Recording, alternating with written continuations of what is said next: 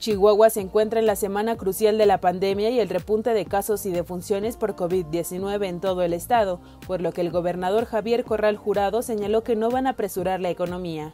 No vamos a arriesgar vidas por apresurar la actividad económica. Sé que hay muchos daños en nuestras industrias, que estamos perdiendo lugar dentro de la competencia internacional. Sin embargo, para nosotros lo más importante son las vidas humanas, dijo el mandatario estatal.